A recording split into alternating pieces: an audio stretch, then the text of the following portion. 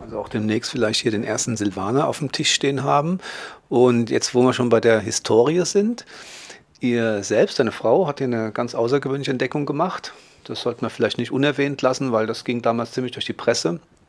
Um was hat sich da gehandelt? Ihr habt eine Rebe entdeckt am Fuße der Rebhänge, was ja nicht weiter verwunderlich ist. Doch mit der Rebe hat es was ganz Besonderes auf sich gehabt. Ja, ähm, das sind ähm, nach Einschätzung von Experten, der Experte war Andreas Jung, das ist ein Rebsortenkundler, ähm, sind es wahrscheinlich die ältesten Reben, äh, die in Europa jemals gefunden worden sind.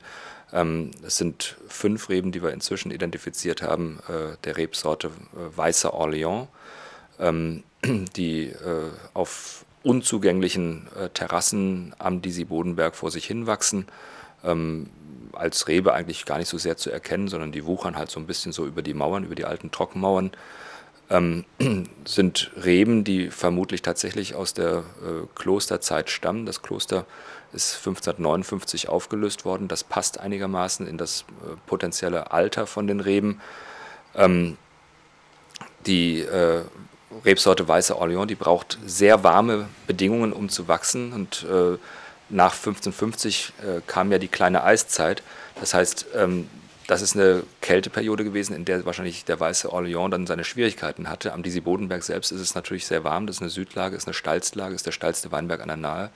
Ähm, da werden die vermutlich dann tatsächlich an einigen günstigen Ecken äh, überlebt haben. Und ähm, Luise hat die tatsächlich vor ein paar Jahren gefunden und dann äh, dem Rebsortenkundler gezeigt. Er hat einen Gentest machen lassen, das stimmt also alles.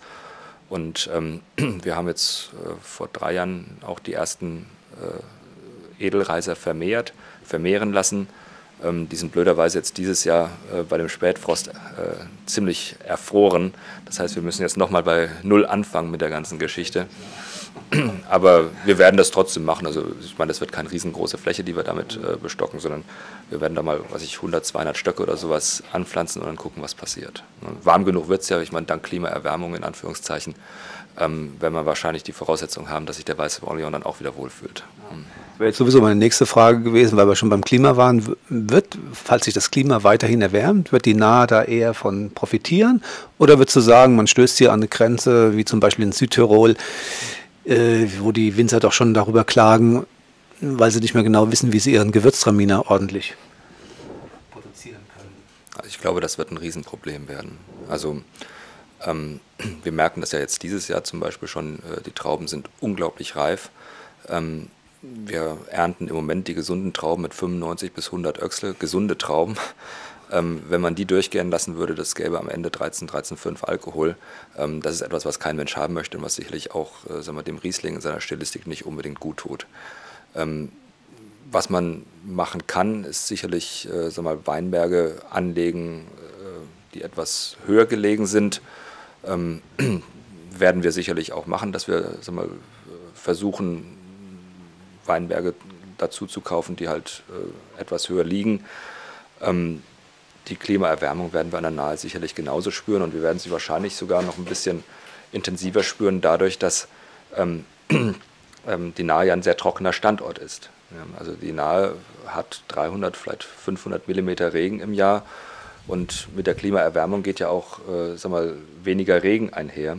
Und das ist etwas, was man hier auch äh, ablesen kann. Der Grundwasserspiegel, der sinkt von Jahr zu Jahr. Das heißt, äh, die Weinberge werden potenziell trockener. Das heißt ähm, wiederum, wir müssen halt wahnsinnig viel draußen tun bei diesen leichten Gesteinsböden, damit äh, das bisschen Wasser, was als Regen fällt, damit das auch in den Weinbergen gehalten werden kann. Ähm, das heißt, wir bringen hier hunderte von Tonnen Kompost jedes Jahr in die Weinberge ein, damit die Wasserspeicherfähigkeit ähm, erhöht wird. Ähm, Junganlagen, das haben wir jetzt auch gelernt, inzwischen werden wir nicht mehr ohne Bewässerung anlegen. Das funktioniert einfach nicht. Wir haben die letzte Anlage jetzt äh, letztes Jahr gepflanzt. Wir haben dieses Jahr keine Junganlage angelegt. Aber in der Anlage, die wir letztes Jahr gepflanzt haben, sind dieses Jahr durch die Trockenheit im Frühjahr bestimmt 30 Prozent der Reben ausgefallen. Und das ist etwas, was wir halt einfach nicht mehr äh, akzeptieren können. Das funktioniert nicht.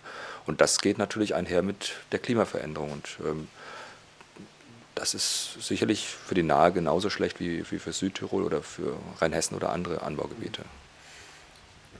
Also werden wir gespannt sein, wie sich das Ganze hier entwickeln wird.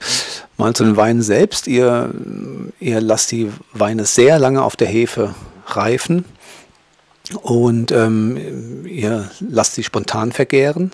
Da scheiden sich nach wie vor, trotz großartiger ähm, äh, Verkostungsergebnisse, die Geister. Also worin liegt die Stärke von einem spontan vergorenen Wein im vielleicht zum Gegensatz einem herkömmlich ähm, gekelterten Wein?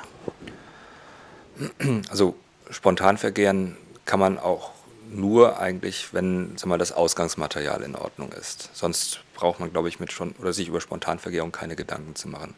Ähm, Spontanvergärung ist mit Sicherheit kein Allheilmittel, um vernünftigen Wein zu machen. Ähm, es gibt genügend Weine, die spontan vergoren sind, die äh, aus meiner Sicht fehlerhaft sind. Ähm, das bedeutet wiederum, ähm, was ich gerade sagte, Spontanvergärung nur dann, wenn das Material vorher vernünftig selektiert worden ist. Der große Vorteil der Spontanvergärung ist sicherlich, dass A, die Gärung wesentlich langsamer läuft, ähm, dass ähm, die äh, äh, Hefen, die an der Gärung beteiligt sind, ähm, vielfältiger sind, zumindest bis zu einem bestimmten Grad äh, Alkoholgehalt im Wein. Das heißt, zu Beginn der Gärung arbeiten halt Millionen verschiedene Hefestämme, die nicht von einer bestimmten Hefe dominiert werden.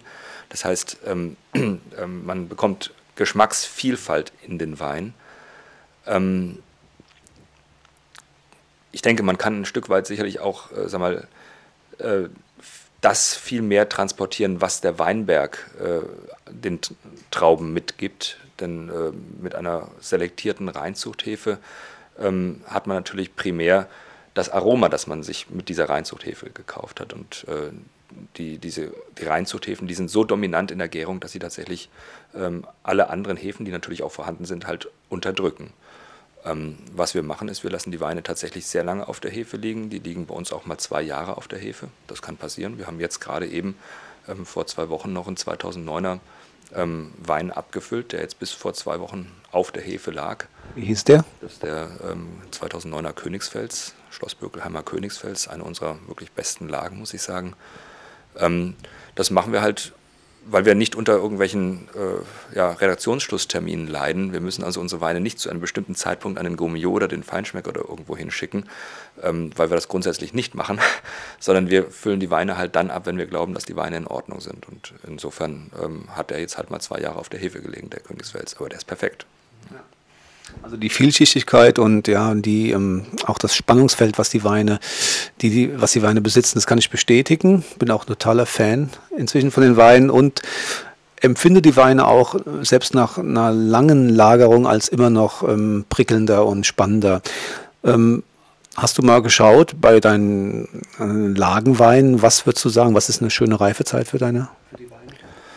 Das ist natürlich eine schwierige Frage, wenn man 2003 mit der ganzen Sache angefangen hat. Ähm, man sagt ja beim Riesling, dass der Riesling ähm, sagen wir, so eine äh, ja, Schwingung in der Reife macht. Das heißt, der hat irgendwie drei, vier Jahre, äh, die es aufwärts geht, dann geht es relativ abrupt in den Keller vom Geschmack her und dann geht es langsam wieder nach oben, dass er nach zehn Jahren wieder auf der Höhe der Zeit ist. Das heißt, wenn du mir die Frage in zwei oder drei Jahren nochmal stellst, dann können wir vielleicht über den 2003er Jahrgang kurz sagen. Also dann, dann kommen wir in zwei Jahren nochmal wieder, oder in drei Jahren, genau. Ja, okay. Dann würde ich sagen, jetzt gehen wir vielleicht mal zu deiner Frau und die wird uns vielleicht drei exemplarische Weine mal präsentieren, die ihr letztes Jahr gemacht habt, abgefüllt. 2009, genau, der aktuelle Jahrgang. Danke.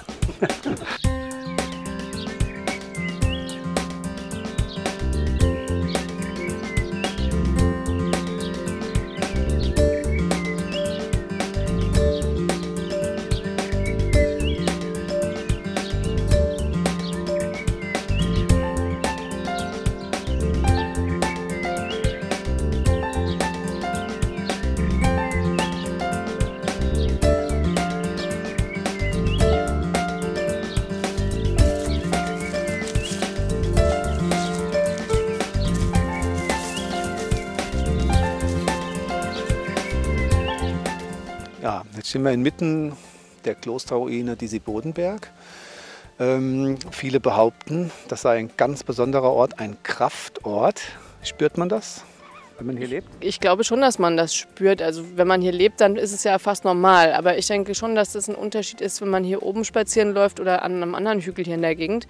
Und es gibt auch sehr viele Menschen, die das speziell eben suchen. Und äh, seriöse Wünschelroutengänger oder auch Wissenschaftler haben sich um das Thema schon gekümmert und festgestellt, dass hier eine ganz besonders starke positive Erdstrahlung zu messen ist. Und das ist ja auch mit Sicherheit, ja, viele bringen es auch in Verbindung mit, mit Hildegard von Bingen und ihren Visionen. Was da dran ist, weiß ich natürlich nicht. Sie hat auf jeden Fall über 40 Jahre hier gelebt und ihre wichtigsten Werke hier geschrieben, bevor sie dann von hier aus nach Bingen gezogen ist und ihr Kloster dort gegründet hat.